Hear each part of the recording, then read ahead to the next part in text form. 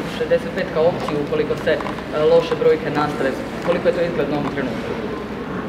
Nije to dobro dok se to popravi. Stalno, stalno nas nešto skraćujete i prevodite ono što nije dobro. Dobro, što se još može napraviti? Postaje, postaje naporno to ispravljanje e, naslova temeljem krivo interpretiranih izjava na portalima i medijima. Dakle, idemo precizno. Broj jedan, cijepiti se, osobito oni koji se nisu cijepili.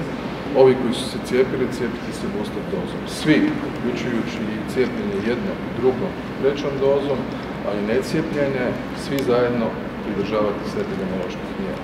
Dakle, najavili smo, rekli smo, Omikron je soj virusa koji se brže širi, jedini način da se od njega zaštitimo je i cijepljenje, i booster, i pridržavanje epidemioloških mjera. Samo kombinacijom to troje možemo spriječiti teže posljedice. Dakle, oni koji su cijepljeni, izgledno je da će biti u situaciji da imaju manje ako se zaraze, teže oblike bolesti.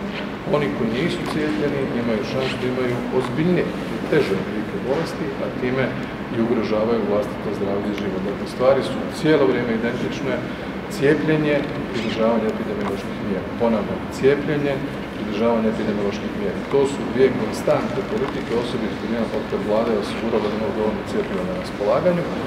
To je okvir kojeg se držimo i kojeg ćemo